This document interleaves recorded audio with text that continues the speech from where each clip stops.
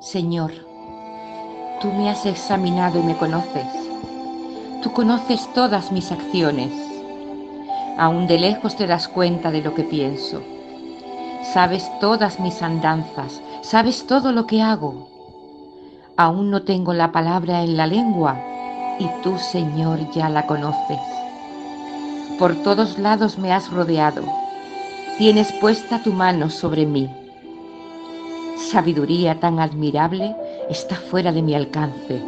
Es tan alta que no alcanzo a comprenderla. ¿A dónde podría ir lejos de tu espíritu?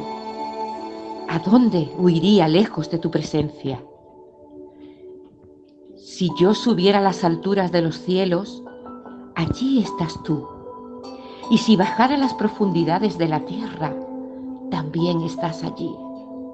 Y si levantara el vuelo hacia el oriente o habitara en los límites del mar occidental, aún allí me alcanzaría tu mano tu mano derecha no me soltaría. Si pensara esconderme en la oscuridad o que se convirtiera en noche la luz que me rodea, la oscuridad no me ocultaría de ti y la noche sería tan brillante como el día. La oscuridad y la luz son lo mismo para ti. Tú fuiste quien me formó todo mi cuerpo Tú me formaste en el vientre de mi madre. Te alabo porque estoy maravillado, porque es maravilloso lo que has hecho. De ello estoy bien convencido. No te fue oculto el desarrollo de mi cuerpo mientras yo era formado en lo secreto, mientras era formado en lo más profundo de la tierra.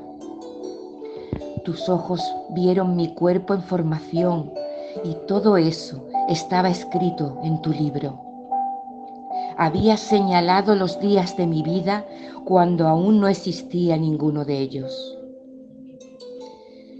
Oh Dios, qué profundo me son tus pensamientos, infinito es el conjunto de ellos. Y si yo quisiera contarlos, serían más que la arena, y si acaso terminara, aún estaría contigo.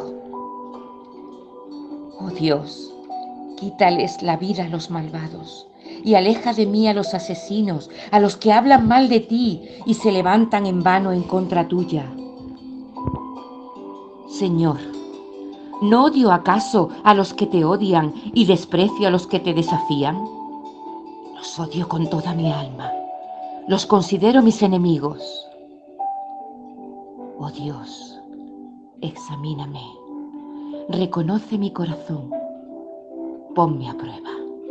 Reconoce mis pensamientos y mira si voy por el camino del mal. Y guíame por el camino eterno.